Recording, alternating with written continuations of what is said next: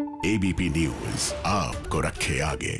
आप लोग देख सकते हैं कि वरुण धवन जो है, इस वक्त शादी के venue the mansion house, Alibag पहुँच चुके हैं और अभी मीडिया के सामने खड़े होकर वो पोस्ट कर रहे हैं और नताशा दलाल के साथ उनकी शादी वरुण से वरुण की शादी नताशा दलाल के साथ 24 जनवरी को होने वाली है। वरुण अभी अभी द मैंशन हाउस में गए हैं Natasha Dalal. The mansion house 22 तारीख को ही पहुँच गई थी। वरुण धवन के जो परिवार वाले हैं, नताशा दलाल के जो परिवार वाले हैं तमाम, वो 22 तारीख को ही द मैंशन हाउस पहुँच गए थे।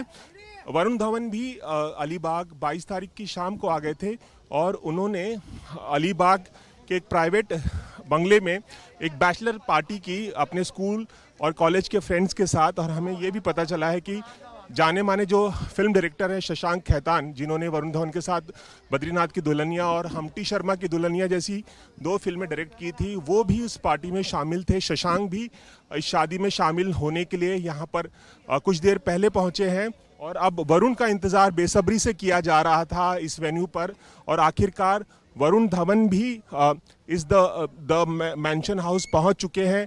तमाम रस्में तेईस तारीख से यानी आज से शुरू होने वाली हैं। संगीत होगा हल्दी होगी मेहंदी होगी और यहाँ पर चालीस से पचास मेहमानों के बीच में ही अ, के, के की मौजूदगी में ही ये शादी होगी। ऐसा हमें एक्सक्लूसिवली पता चला है कि 40 मेहमान से ज़्यादा नहीं हो सकते। 40 या 50 के बीच ही होंगे। यहाँ पे इस द मैंशन हाउस की खासियत ये है कि ये एक लग्जरी रिजॉर्ट है और यहाँ पर सिर्फ़ 25 कमरे ही उपलब्ध हैं और यहाँ पर शशांक खैतान के अलावा अगर बॉलीवुड से की बात की जाए तो कुणाल कोह- कोहली जो है डायरेक्टर जो है हम तुम और फना जैसी फ़िल्मों के डायरेक्टर जो हैं, वो यहाँ पर पहुँचे हुए हैं। कुणाल कोहली जो हैं, वो वरुण के कज़िन लगते हैं, यानी वरुण की जो माता जी हैं लाली वो उनकी मासी लगती है, वो भी यहाँ पहुँचे हुए हैं। ऐसी खबर है कि करण जौहर यहाँ पर शादी के दिन पहुँच सकते हैं। मैं आप लोगों को दिखाना चाहूँगा कि शादी की जगह पर किस तरह का पुलिस बंदोबस्त किया गया है।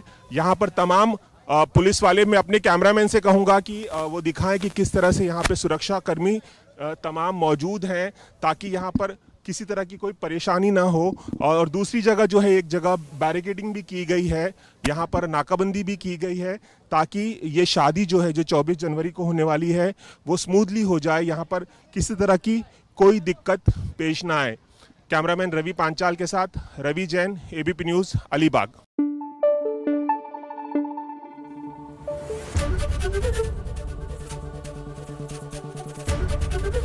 ABP news आपको रखे आगे।